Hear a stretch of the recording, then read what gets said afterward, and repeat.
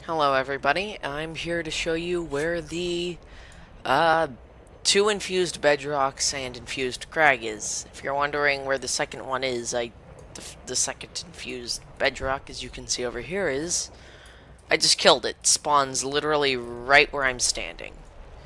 They're right here in Silithus the Wound, obviously.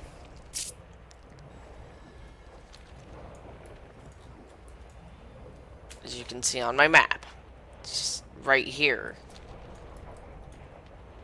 It's on the left facing Silithus, it's on the right handlebar thing. Whatever, let, let's just get into it. Uh, yeah, that's about it. They're fairly easy to take easy to take on with a tanking class like Blood Death Knight. That is the infused bedrocks. The infused crag is pretty much a stalemate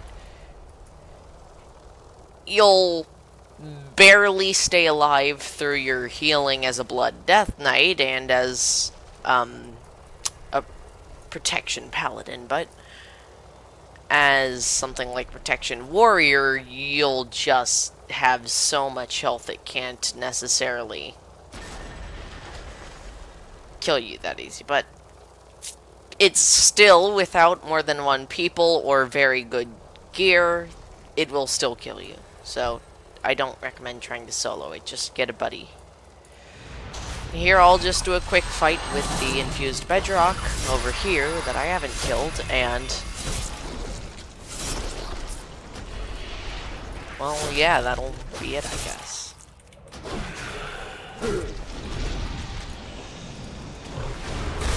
Oh wow.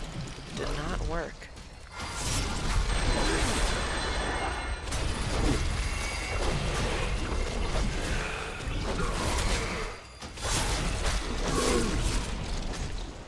That'll actually deal a sizable chunk of your health of damage if you don't get out of it, but I have good gear, so it shouldn't matter.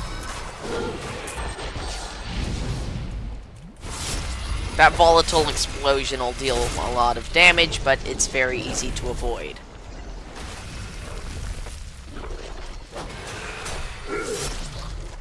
Not quite sure what the Azerite Effusion stuff does, so I'm just going to ignore it.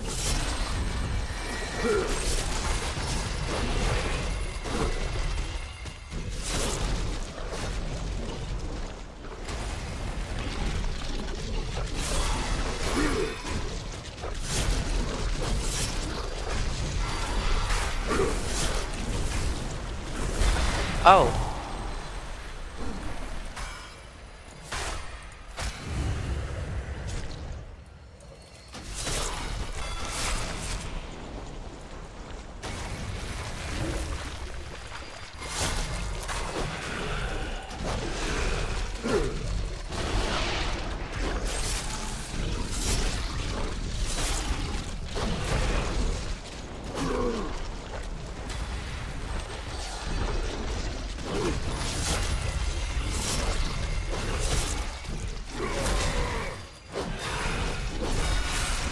It's really just about keeping your Marrowrend, as it would Death Knight, up as high as you can, and just using that Death Strike. Otherwise, it's just spam Heart Strike, as pretty much everything else is, but...